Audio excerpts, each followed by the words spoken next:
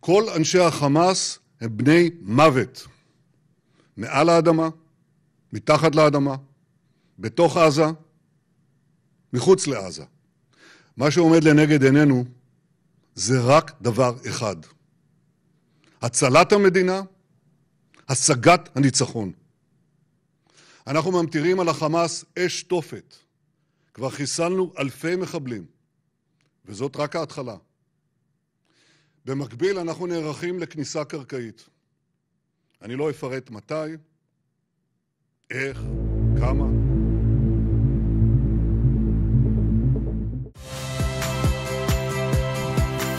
Saya Ihsan Sitorus.